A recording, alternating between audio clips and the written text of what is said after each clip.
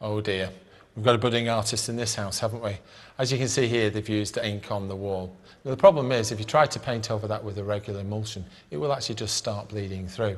So the solution to this is using the Crown Stain Block Primer. It's easy to apply using a brush, or if it's a large surface area, a mini roller is fine. So just put it on using a brush.